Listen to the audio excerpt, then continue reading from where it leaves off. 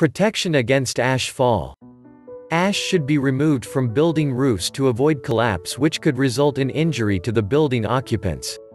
About 100 millimeters of dry ash could collapse a flat roof.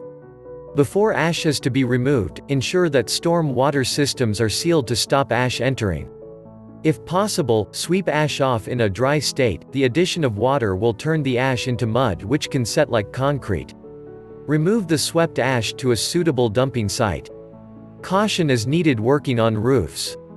In heavy ash falls, windows and doors may need additional sealing to avoid ash entering the building.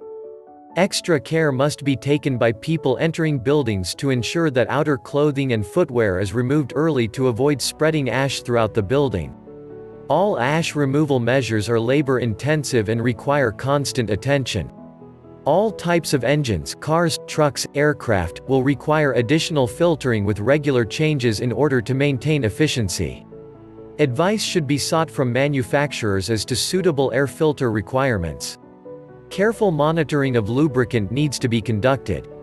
Lubricants may need to be changed at up to four times the normal frequency.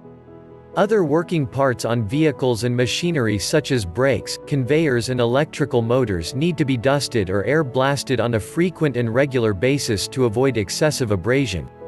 Farm and industrial machines such as tractors and diggers, have a greater tolerance to ash, however, additional protective measures will be required for these to continue operating in ashfall conditions. Crops and plants are damaged by volcanic ash which may contain volatile, highly toxic components such as fluorine, hydrogen sulfide and sulfur dioxide.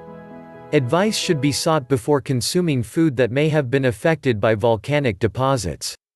Volcanic gases can have severe effects on plants from wilting outer leaves to killing. Trees laden with ash could collapse or be stripped of their upper and outer limbs. Tank supplies should be disconnected from house roofs whilst ash fall continues and the tank protected. They can be reconnected once ash fall stops and the roof is cleaned.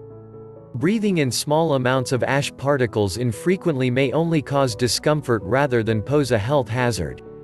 At higher concentrations, people should avoid ash and fine dust simply by using cloth filters over the mouth and nose. People required to work in ash fall should wear protective clothing, masks and goggles to ensure that ash contact with the body is at a minimum. Prolonged exposure can cause severe irritations and inflammation. Gas marks would be required if toxic gases are detected. Livestock may require additional feed where the ash fall makes grazing difficult. Water supplied must be checked to ensure it is not harmful. Sheltering of livestock in buildings may be required in heavier ashfall areas. Early evacuation of livestock may also need to be undertaken. If you like the video give it a thumbs up and share with your friends for more exciting video subscribe to the channel.